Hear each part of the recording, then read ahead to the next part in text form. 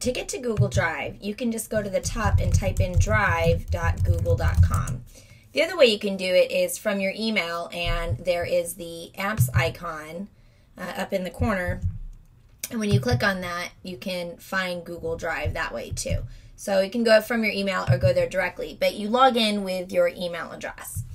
So what you would want to do is to focus here is on the left hand side, you'll see that there is a create button. So this is how you make Google Documents.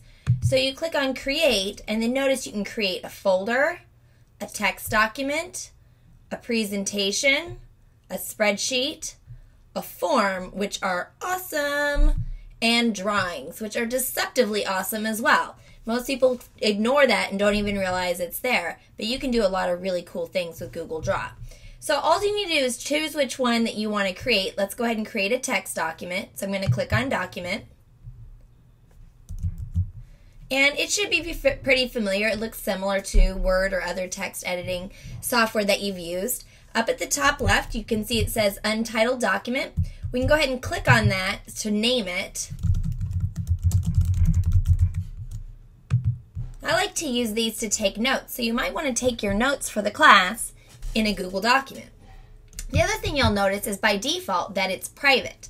So you can see that it has a padlock on this blue share button in the upper right hand corner. I'm zooming in so that you can see this better, which is why it suddenly looks so funky. So what you want to do is you want to click on that blue share button and it's going to take you to a screen where you can share it with others. So notice here it says invite people. So you can type in the email address of people at your group or other people that you know to let them type on the document at the exact same time.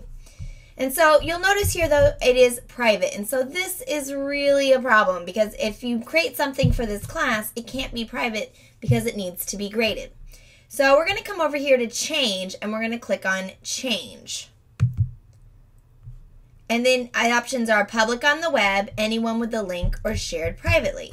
Now, if you're using your Google Apps account, you'll notice that you have a couple more options that you can do with anybody at Fresno State.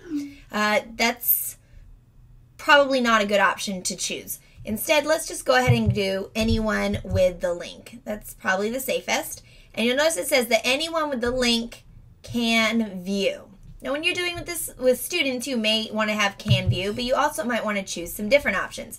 So notice I can click on the can view and I can choose can comment or can edit. So if you're looking for peers to give you some feedback, you might want to give them only commenting rights, not editing rights. I personally just give them editing rights. It's easy if they make a change that you didn't want them to, to roll it back. So go ahead and just say uh, can view or can edit, whatever you like, and hit save. And I'm going to hit done. And now it's a text document.